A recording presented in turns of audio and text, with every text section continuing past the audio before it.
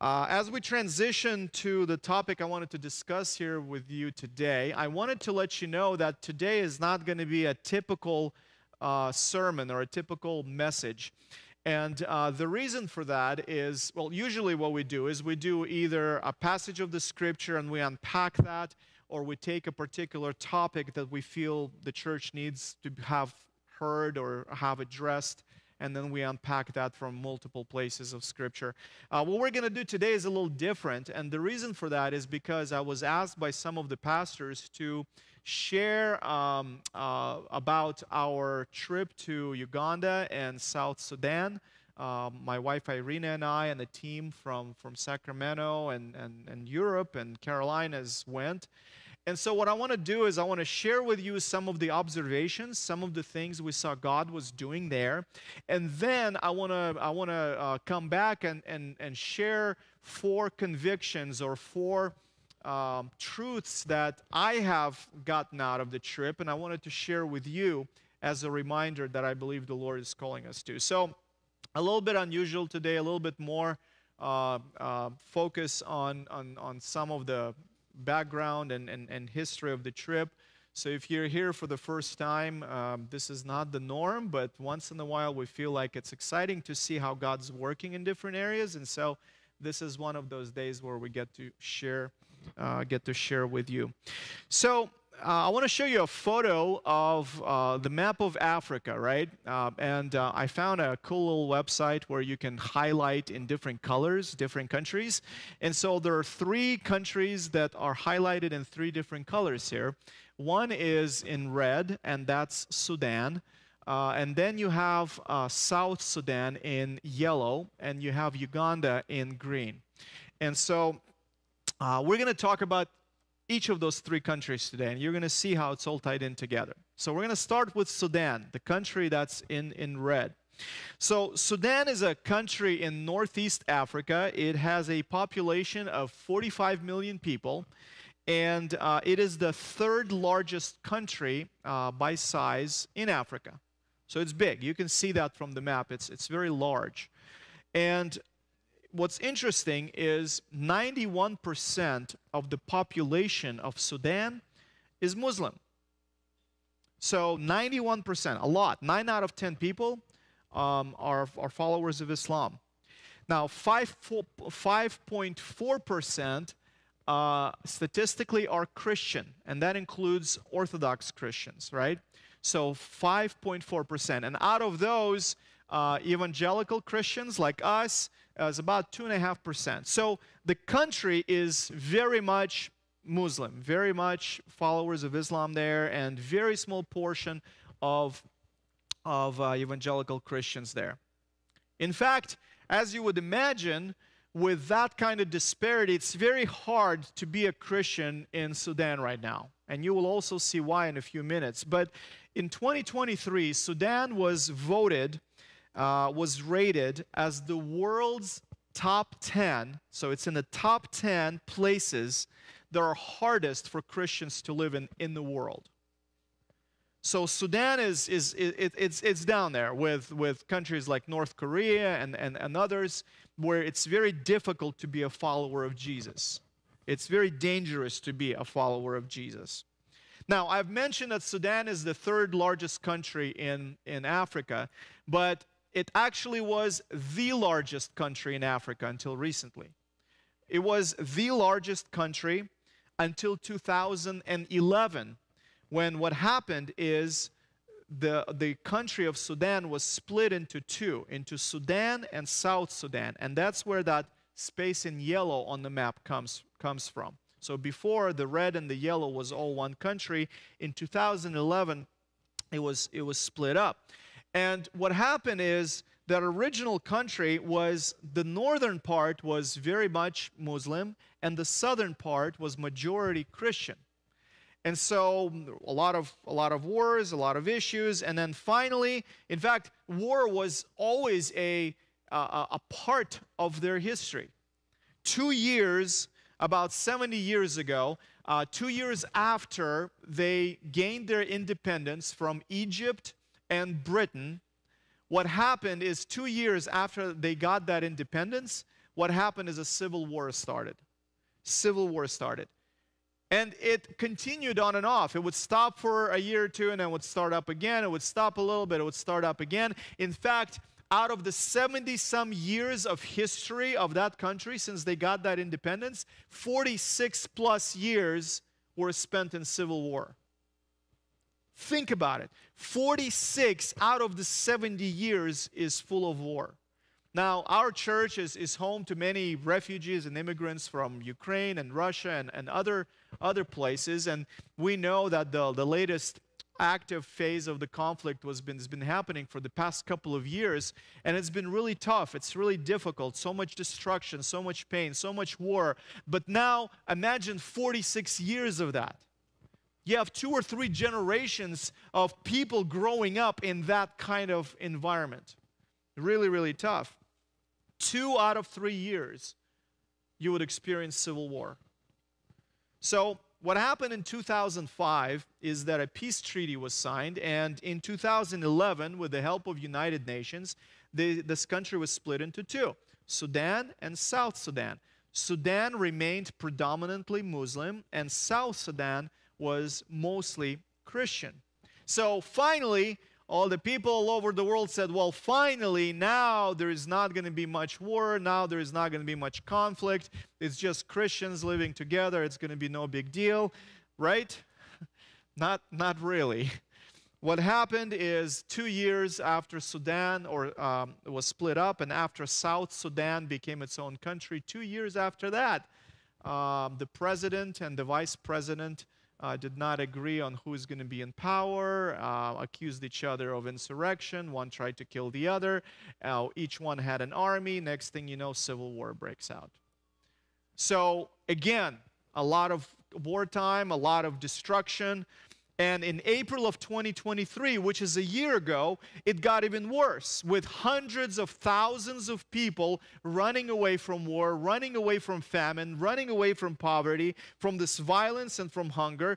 And United Nations estimated that in United Nations estimated that in 2023, 7 million people in South Sudan don't have basic food and live in poverty. 7 million people.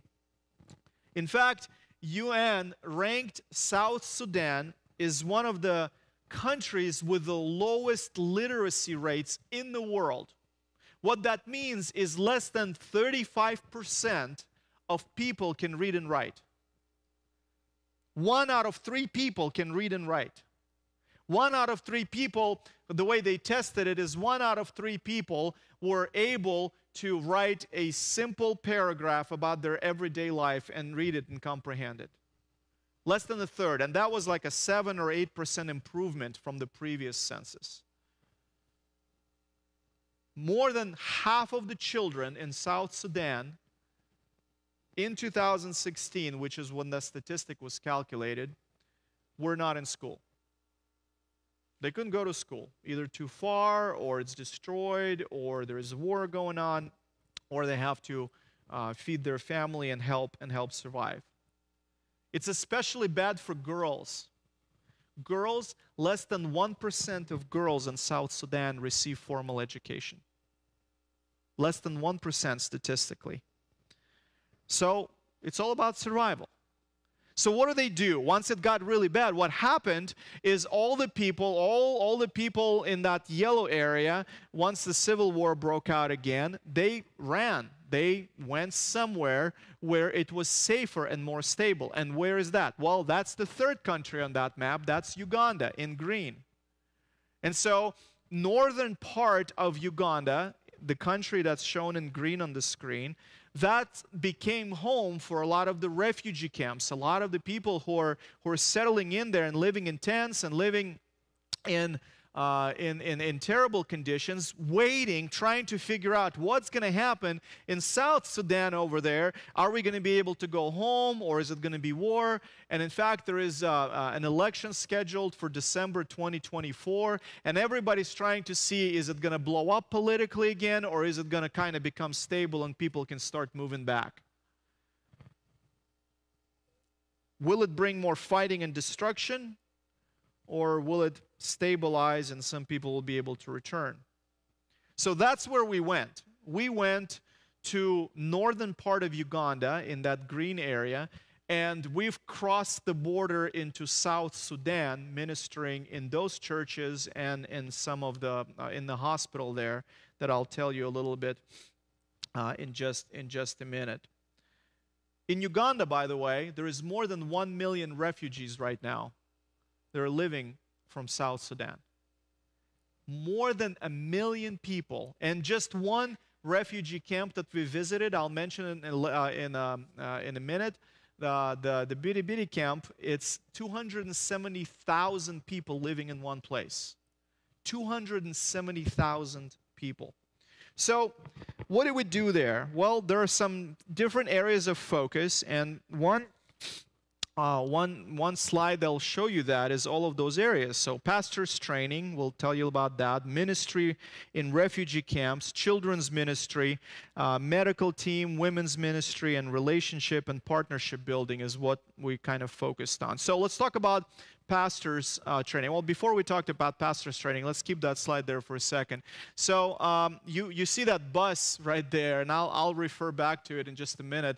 That bus uh, traveled in places I didn't think was possible. We pretty much drove on these kinds of roads where uh, in, in northern part of Uganda where there was there was no pavement, there is no rock, no gravel, no asphalt. It was it was pretty much a, a, a, path where people either walked or rode motorcycles on. Motorcycles are very very common there uh, because gas is as expensive here pretty much. It's very very pricey. And so uh, we were crossing this small river, the stream, and uh, I thought we were going to get stuck, but uh, they asked us to dismount. We all left the bus and we, we, we crossed we crossed there. So uh, if you look on top of the bus, that's how all of our luggage was stored. You pretty much tie it on top of the roof and uh, just pray it doesn't fall off. And uh, at this point, we probably need new luggage because it was pretty much destroyed uh, during those, those couple of weeks. So, what do we do there? Um, if we look at the next slide, the pastors' training that we did there, um, we conducted three pastors' conferences. That was one of my, my primary involvements there is, is, is discipleship of, of pastors. And you can see on this photo, well, first of all, on the photo on the bottom, that's a discipleship center that uh, one of the missions that we went with over there has built. This is a building where people come and get trained up and have these conferences, these training sessions. It's a, it's a blessing. It's, it's pretty new, got built just a couple of years ago.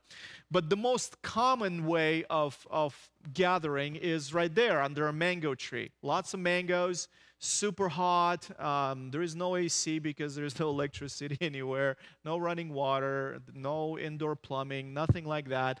And so people just gather under a, a, a mango tree, and then that's, that's us doing some training over there with pastors from the local area. So we did a three day pastors conference, we did two one day pastors trainings, and overall, about 120 pastors were trained during the time that we were there. 120 pastors. Now, it sounds like a lot. I, I just want you to understand something. The country started up in 2011, right? The whole country formed in 2011. And in 2011, the first Baptist church of South Sudan was formed. There were no Baptist churches in South Sudan prior to that. And so we're talking about a very young generation of, of believers, particularly Baptists, right? We're talking about very young generation of, of, of evangelical Christians. And so these people are very young, they're very much uh, uh, inexperienced, but they're hungry for God's word. They're hungry for the gospel and for the authority of the word. And that was very, very impressive to see. So that's the first thing we, we did. The second thing we focused on is the refugee camps. Now, as I said, the war that started in 2017 uh, displaced uh, over a million people. And uh, Bidi camp, 270,000 people living in different huts and tents. Just so that you understand the scope of the problem, they get five kilograms of food per person per month. Do some math they get four kilograms of corn flour and one kilogram of beans per person per month. That's it. So um, we've uh, we've given you guys an opportunity to give some money for food as we traveled there, and we bought a total of three trucks. But two of the trucks were brought to this camp, this refugee camp, that's extremely large. And what you see there is an actual photo. We didn't just get it from the internet. All the photos you see here are actual photos that we took during this trip. And these are the kids who are super excited to get some of that corn flour and some of that some of those beans. Uh, I don't know about you and your kids, but I wish my kids were that unpicky about the food they ate, right? Uh, it's, it, they were glad, they were joyful because somebody came and served them, and it was just a, such a basic necessity, and it was a blessing. So it was, um, it was a, a testimony of extreme poverty. But, friends, I want you to know there is also an extreme opportunity. When, when, when there are these different situations like that, there are difficult situations, God also gives extreme opportunities. Think about it. This camp, there were over 60 Baptist churches formed during this period of time.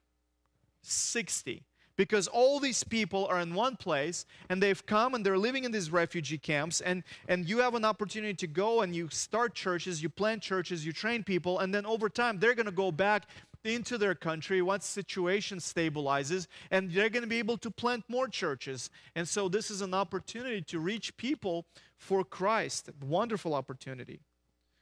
Uh, another area of focus was children's ministries. Now, uh, I children's ministry is, is is not my strongest suit, but I had an opportunity to uh, to preach and, and, and pray and and uh, you see um, uh, these photos from some of this ministry. The bottom photo in that big uh, hat, that's me. I, I don't remember what I was showing kids, but they were clearly engaged. They wanted to see what was going on.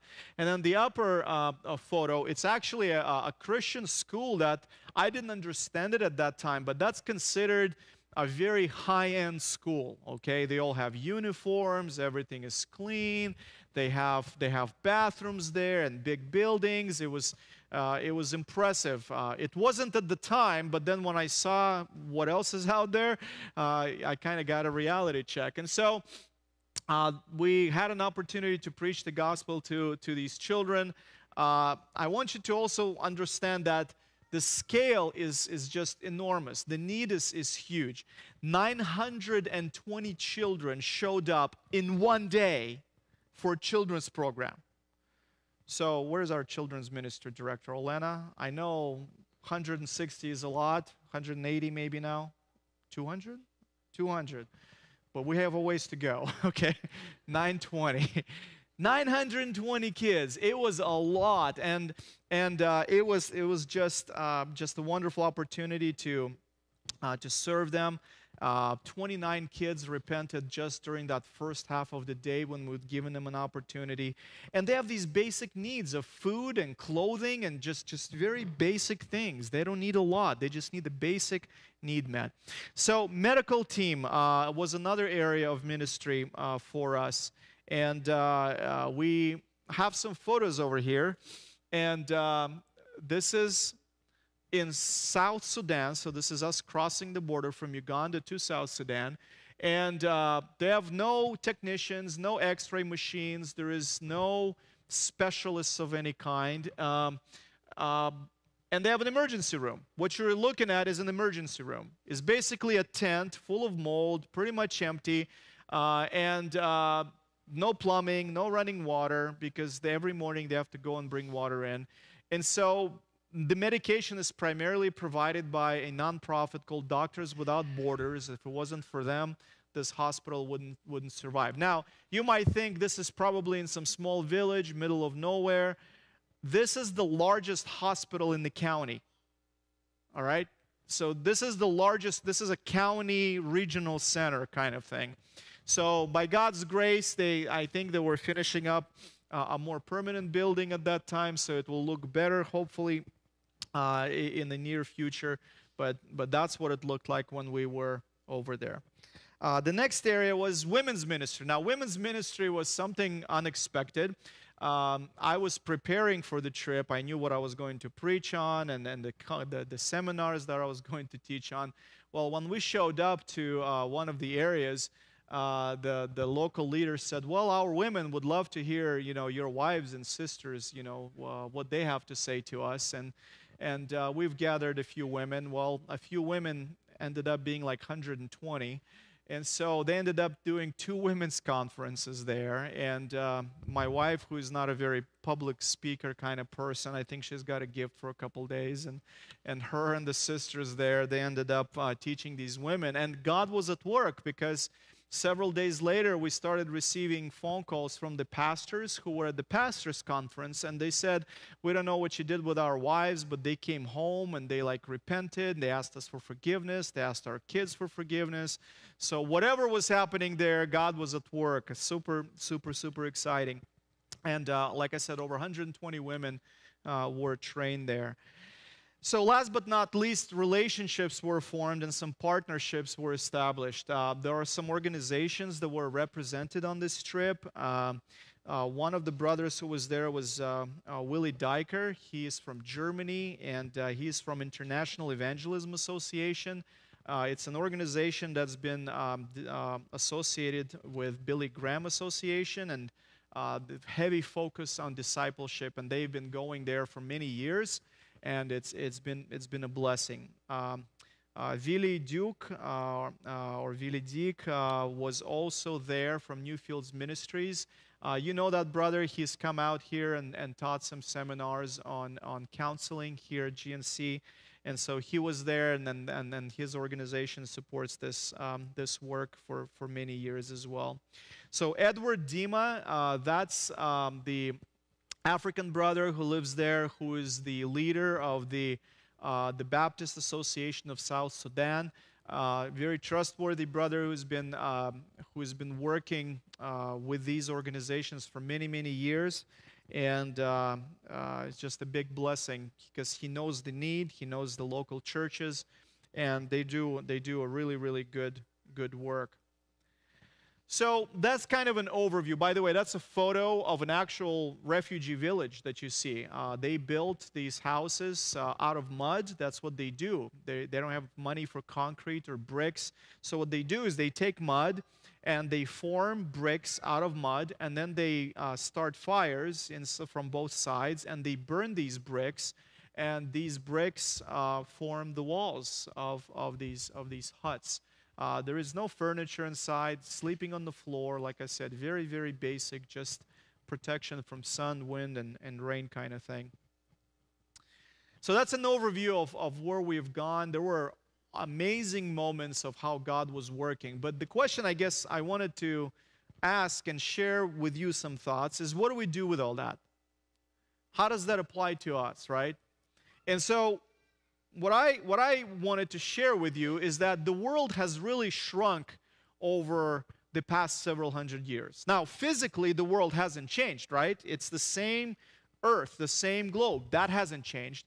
But the, it became a lot more accessible when Apostle Paul traveled the countries in the Mediterranean, when he went and visited churches around the, the Mediterranean Sea, what happens is he spent pretty much all of his life just working that one area. And sometimes he arrived at these places on a shipwreck because the ship crashed. Sometimes he would arrive to these churches bitten by snakes. It was very, very rough kind of travel. It took a long time the missionaries of an early church, uh, an Apostle Paul, and even a couple of hundred years ago, they could not possibly imagine that you could hop on a plane and in less than 24 hours you could be at any point of the earth and you could minister to pretty much any group of people within a day or two.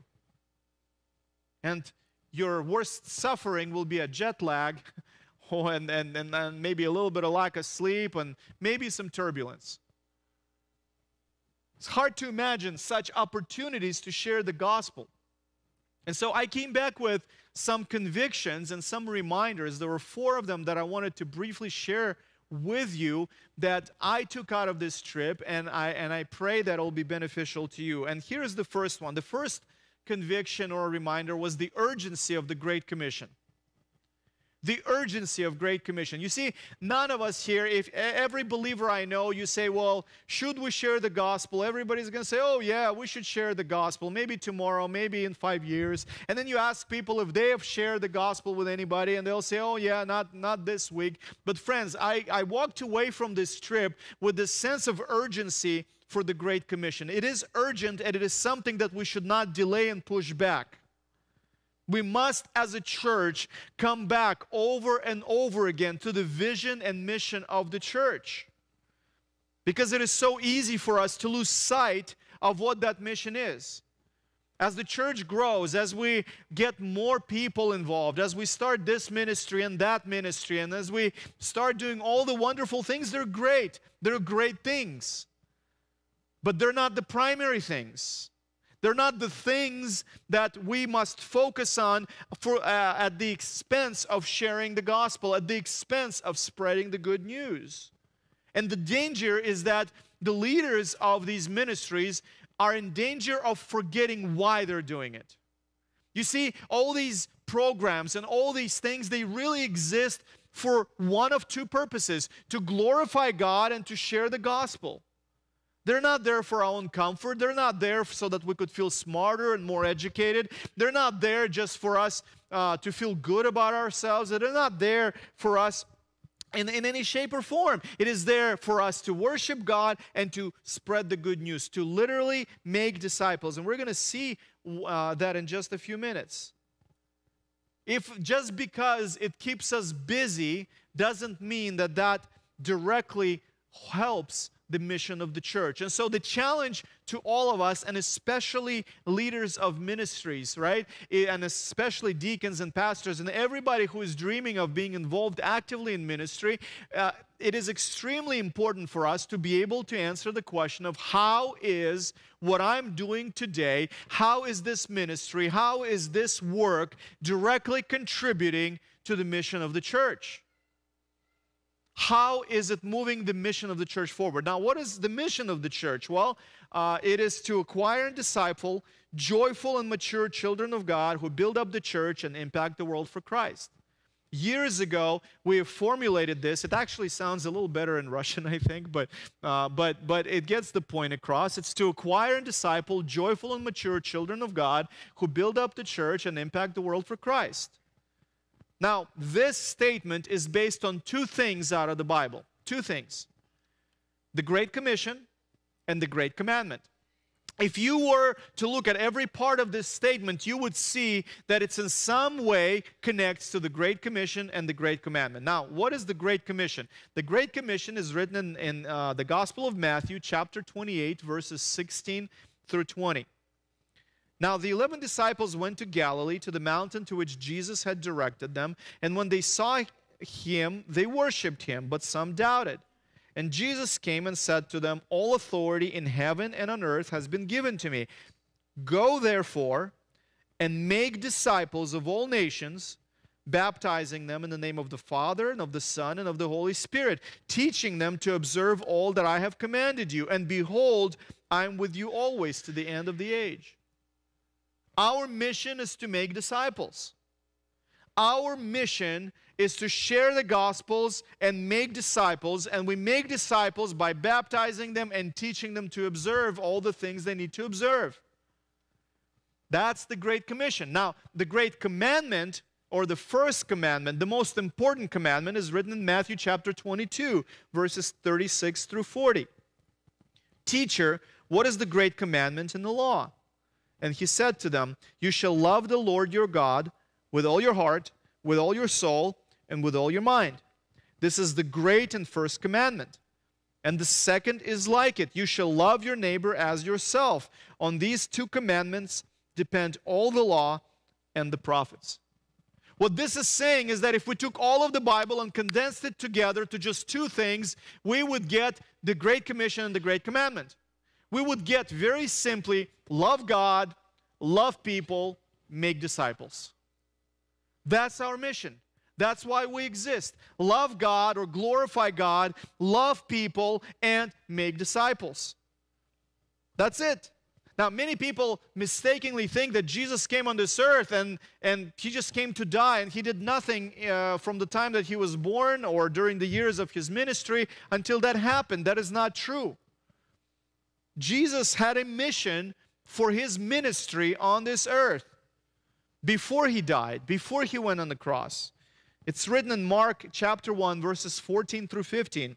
Now, after John was arrested, Jesus came into Galilee proclaiming the gospel of God and saying, The time is fulfilled and the kingdom of God is at hand. Repent and believe in the gospel.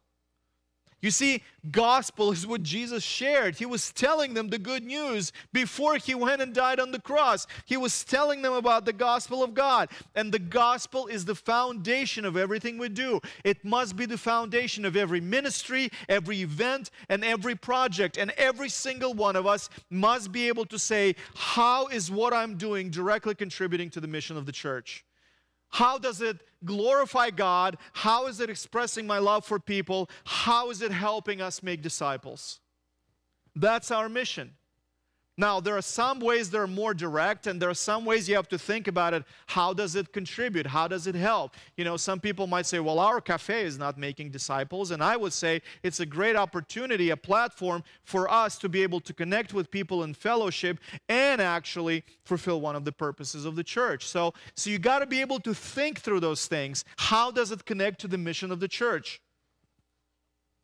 Now, I want to share with you that there are many, many, many, many things that I was super excited and encouraged by during this trip.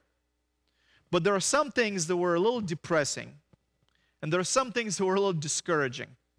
And one of those things was you know, you're seeing all this poverty, you're seeing all this destruction, you're seeing the levels of existence they're, they're just, just hard to understand until you see it. I'll share this with you. I didn't share it at the, the first service, but I mean, girls don't go to school because they don't have a girls' bathroom. So when they go through their period, they don't have a place to change and they don't have access to sanitary napkins in order to be able to stay in school. So they stay home for a week and a half.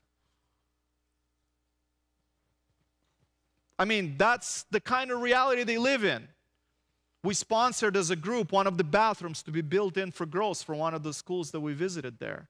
And so it's actually, they're working on it right now. The, the, the parents got, united, got together and we were able to buy some materials for them in order to do that.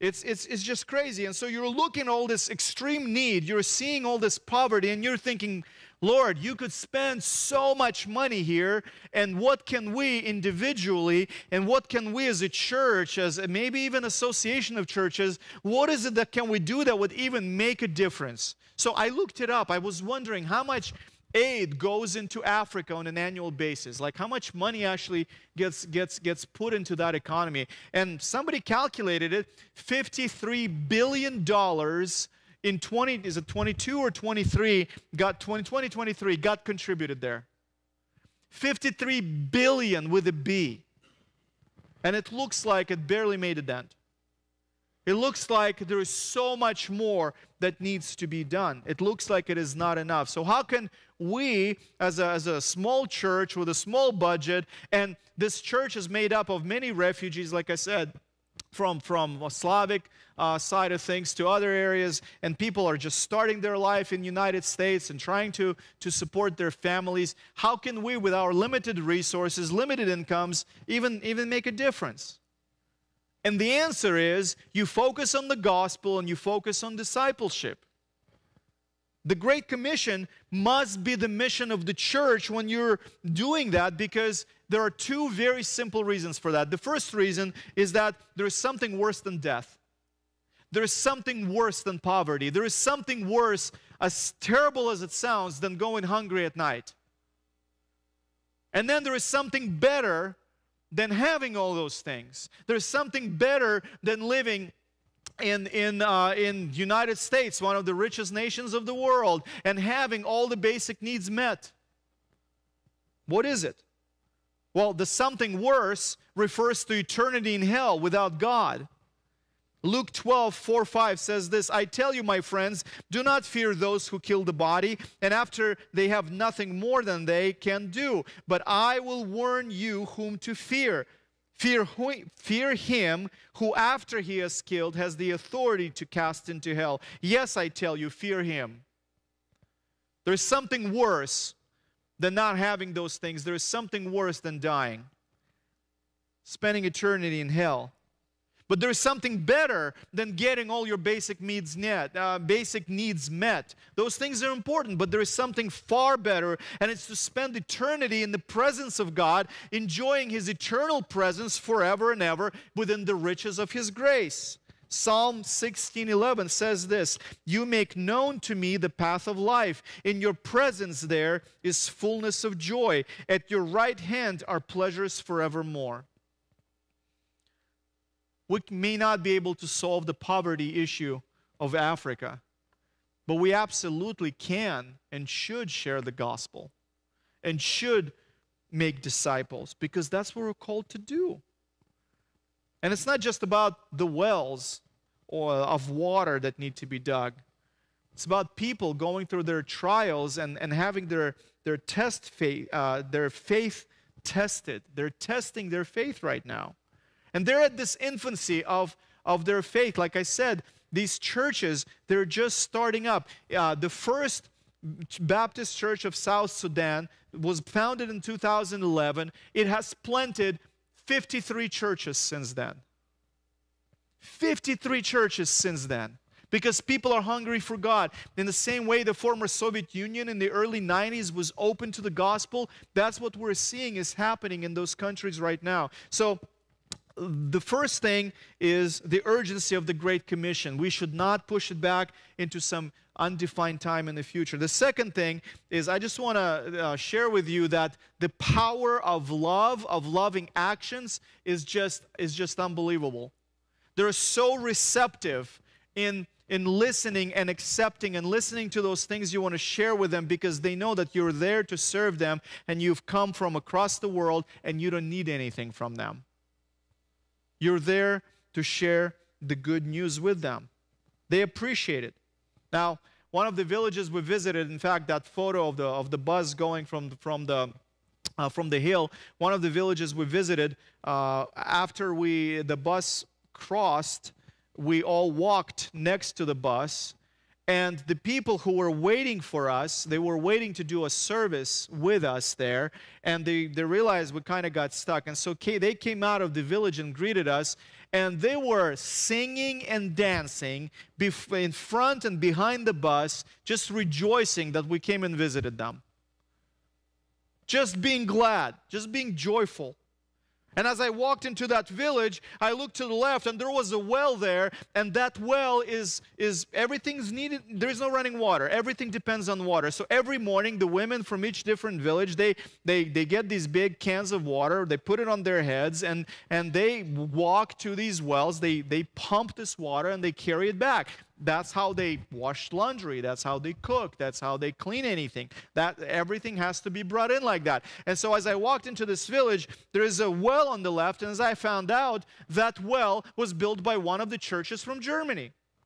They got together they put their money together they built this well and out of that area this this kind of regional center formed and then there was a church planted and all the people from the neighborhood places they come and now this place has water they met their need. It was a simple thing. Yes, it took a little bit of money, but it was a simple need that they that they met.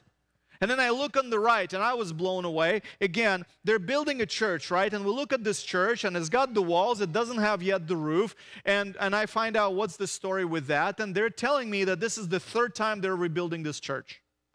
And the reason they're rebuilding this church is because they have no cement, they have no money for that, and they're building everything out of bricks. And the bricks are burned, so they're a little bit more solid, but the mud that they connect the bricks with, they can't burn that, right? And so they build, they build, they build, and if they haven't had the time to put the roof on the building, when this tropical rain comes in, it washes everything away. So all the walls just fall down. And they remake those bricks again and they rebuild it again. And so for the second time, and again the rain came. And when we were over there, they were on their third third attempt with, with putting this building in place where they can worship because the rain just washes it away. It's made out of mud. So we were able to secure some materials for them, and they put that roof on that building so that they don't have to rebuild it the fourth time. Simple thing. Can you help with the roof? Nothing fancy. They didn't care about Calvinism or Arminianism. They didn't care about eschatology uh, of when Jesus is going to show up. They didn't care about the finer points of whether you should do this or that. They just wanted to have how do I live my day tomorrow with Jesus? They're a young generation of believers. One of the questions was, uh, Pastor, uh, we live in a Muslim area. There's a lot of Muslims here. They're rich, and uh, they come for our daughters and they offer us a bunch of goats uh, when they ask them to marry them, and we're just tempted to let them marry our kids because it's, it's a lot of goats. Now, goats are a big thing over there, right? It's just you eat a lot. Very tasty, by the way. Very good. So you, you might laugh at it and say, well, what's the big, big deal with goats? Goats are, you know, yeah, that doesn't apply to us. But you know what, though? I'm seeing refugees and immigrants from Russia, Ukraine, and other countries. They come over here and they spend all of their time at work running their business. They don't serve, they don't spend time with their family, they don't spend time with God. And you know what? You have the same choice as these people. Do you sell out for a bunch of goats? And sadly, many of you choose goats.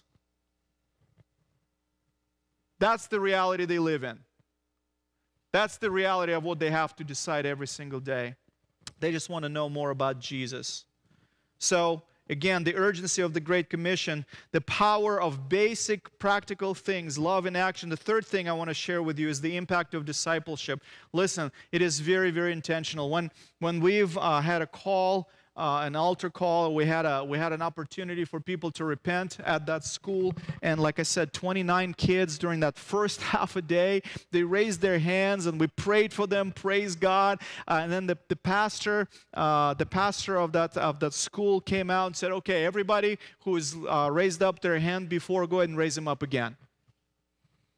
Something we probably wouldn't do here, right? Makes people uncomfortable. So they raised up their hands, and he took a notepad, he took a pen, and he would come up to each one and said, What sin did you repent of? How is your life going to be different? What does the gospel mean to you?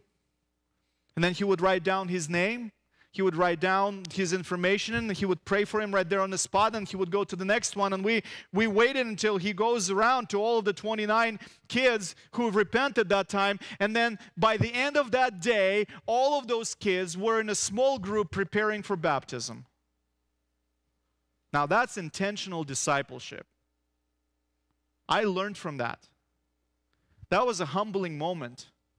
That was incredible you know, you come over there to teach them, but the reality is they're teaching you through living it out practically in, our, in their everyday life.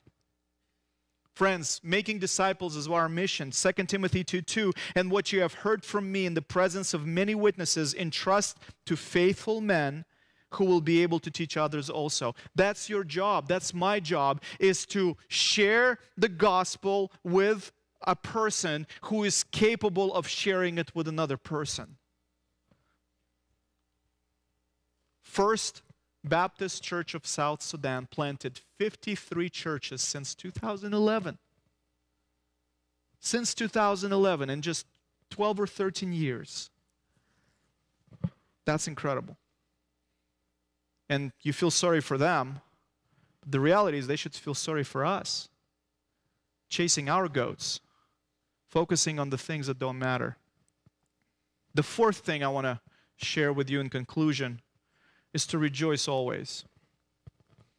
1 Thessalonians 5, verses 16 through 18 says, Rejoice always, pray without ceasing, give thanks in all circumstances, for this is the will of God in Christ Jesus for you. Listen, there were times when I'm looking at these people, I'm thinking they have nothing. They're broke, they're dirty, they're hungry, they're poor, they have no access to information. Two out of three cannot read. It's just, it's just a terrible, terrible situation. I could show you more photos of the living conditions that'll make your hair stand up on it's just just crazy but you know what though they're full of joy They're full of joy in Jesus because they trust Him every day, they rely on Him every day, and they come to Him with prayer that's not just, Lord, bless this food, thank you for everything, amen, and go to sleep.